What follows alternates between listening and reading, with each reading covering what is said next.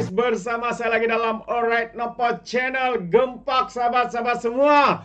Pecat saja kami kalau berani. Ha, Itu antara kenyataan daripada ahli parlimen Labuan kepada pimpinan dari Parti Bersatu sahabat semua. Oh, apa sudah berlaku? Ini agak membingungkan kita. Dan YB Internilog menuntut RM 38 juta. Ha, kepada siapa? Jadi mari kita lihat ya kenyataan media ini sahabat-sahabat semua. Yang pertama seperti yang saya katakan tadi YB Internilog ya mahu ya kerajaan untuk tuntut 38 juta kepada pemaju hotel. Itu antara kenyataan ya daripada YB Internilog. Jadi kenapa hotel ni harus ya memberi 38 juta apa yang mereka lakukan? Ini yang menarik untuk saya kongsikan. Jadi Kementerian Pengangkutan Malaysia MOT akan mengemukakan tuntutan sebanyak RM8 38 juta kepada sebuah pemaju projek pembinaan hotel berdekatan dengan stesen bandaraya.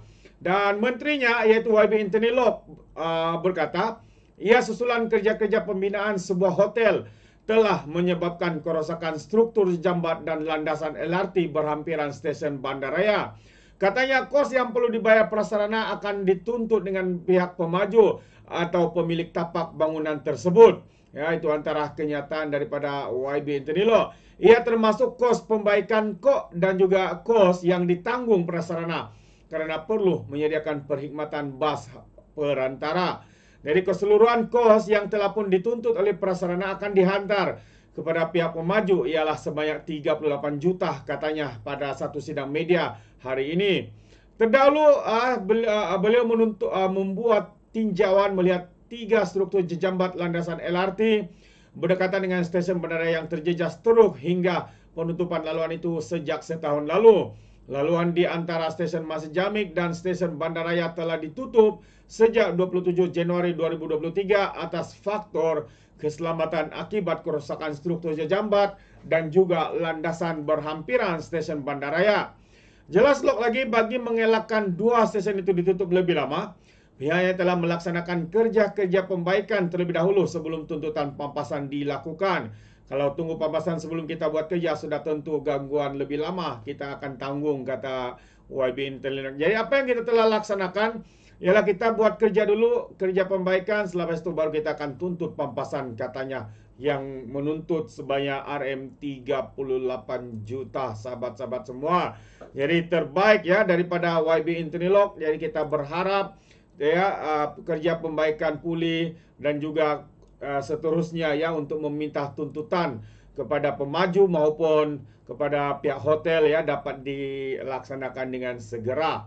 Uh, jadi Belum saya akhiri poin saya yang terakhir yang begitu panas ini ya apabila MP ahli parlimen daripada Labuan yang telah memberikan sokongan kepada Perdana Menteri dan juga Kerajaan Perpaduan mengatakan pecat sahaja kami tidak akan letak jawatan. Fuh, apa sebenarnya yang berlaku sahabat semua? Kenapa beliau membuat kenyataan padu atau panas seperti ini?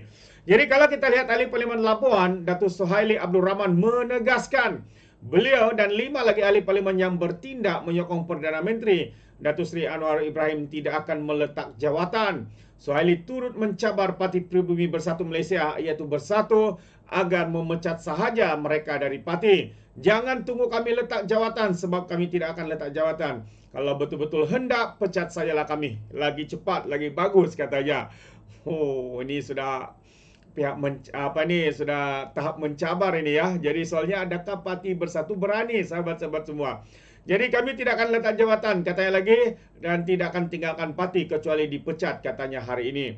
Ya, Suhaili berkata demikian mengulas kenyataan Ketua Penerangan Bersatu Razali Idris bahawa parti itu akan membuat perhimpunan agung khas pada dua Mac ini yang dijangka menamatkan riwayat enam jahanam. Itu antara kenyataan. Mereka sudah menggelar ahli partinya sendiri sebagai enam jahanam. Memang jahanam parti ini ya. Jadi perhimpunan itu akan memindah perlembagaan parti susulan tindakan enam ahli parlimennya menyatakan sokongan terhadap Anwar. Ha, dan kalau kita imbas ya kenyataan ataupun pendedahan daripada ahli parlimen Bukit Gantang, bukan 10 tapi ada 16 atau 18 lagi ahli parlimen bersatu yang akan memberikan sokongan kepada Datuk Seri Anwar Ibrahim.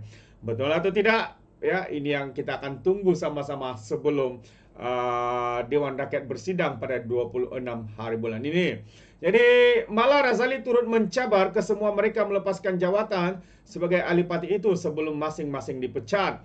Dalam pada itu Suhaili berkata, perkara 10 dalam pelambangan parti yang mau dipindah bagi menghalang insiden sama berulang selain sedia berdepan dengan PRK jika berlaku pengosongan kerusi wakil rakyatnya yang diambil tindakan juga tidak memberikan kesan kepada mereka. Jelasnya kerana mereka tidak bertindak uh, tidak bertindak melompat parti tapi lebih kepada memberikan sokongan kepada kerajaan. Kami bukan lompat parti katanya tapi keahlian dilucutkan. Bagaimana dia boleh kata tak guna akta itu kami juga bukan berhenti daripada parti. Siapa nak layan cabaran dia bermakna mereka bersatu sendiri tidak yakin dengan langkah untuk pindah perlembagaan tersebut. Jadi kata bila kata bila pindah akan gugur keahlian, gugurlah tidak tidak payah hendak minta kami berhenti. Berhentilah dari cari publicity, murahan. Sudah-sudahlah Razali katanya lagi. Jadi untuk rekod selain Swahili, ya, lima, uh, lima ahli parlimen yang memberikan sokongan kepada Anwar dan uh, kerajaan perpaduan, ahli parlimen Tanjung Karang, ahli parlimen siapa lagi? Uh, Bukit Gantang, ahli parlimen Jelly dan juga Gua Musang termasuk juga Kuala Kangsar sahabat-sahabat semua.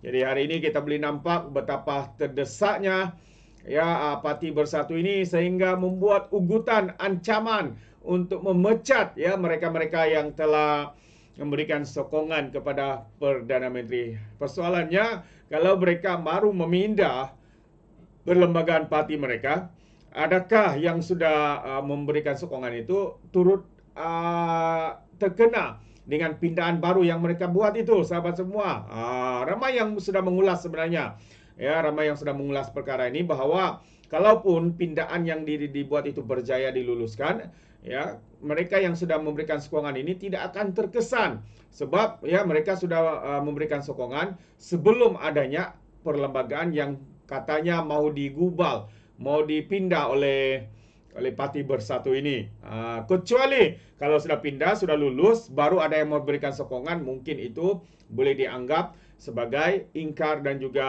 uh, lompat parti sahabat-sahabat semua. Uh, itu pandangan saya. Bagaimana dengan anda di luar sana? Jika anda setuju atau tidak, anda boleh berikan komen dalam ruangan komen. Jadi terima kasih sampai di sini saja. Izinkan saya untuk mengundurkan diri dan seperti biasa peribahasa mengatakan, tapapun kangkap dua ton keinginan. Dalam bahasa Melayanya, tepuk dadah, tanya selera. Sekian saja daripada Orang Dapat Channel. Saya kita berjumpa lagi dalam info dan update yang seterusnya. Sekian. Bye-bye.